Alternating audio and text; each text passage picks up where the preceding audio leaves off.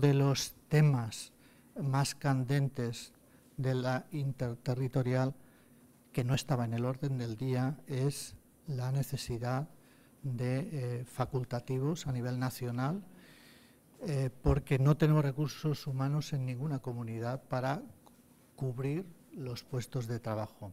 El plan de vacaciones sabes que tiene dos problemas en nuestra comunidad.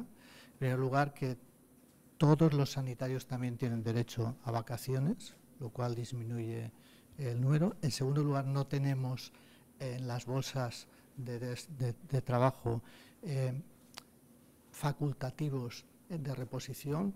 Y en tercer lugar, que hay un gran desplazamiento poblacional, incluido eh, desplazamientos nacionales e internacionales.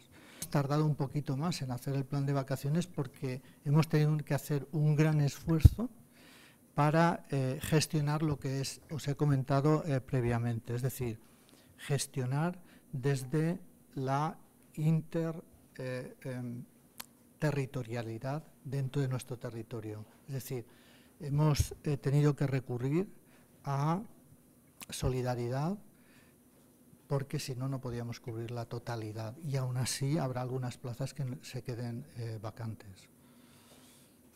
Con el personal que dispongamos, optimizando los recursos y priorizando eh, dónde está el ciudadano. Es decir, tenemos previsto atender eh, las áreas limítrofes con la costa con el máximo de recursos disponibles, y haciendo un planteamiento de sinergias. Es decir, en lugar de eh, consolidar exclusivamente áreas departamentales, intentando sinergias interdepartamentales de manera que hagamos un esfuerzo solidario eh, para atender al la máxima población en las áreas con menos recursos que en estos momentos van a necesitar por incrementos poblacionales que se multiplican por 10 o por 20, como sabéis perfectamente, el área de Torrevieja, el área de Peñíscola, etcétera, etcétera.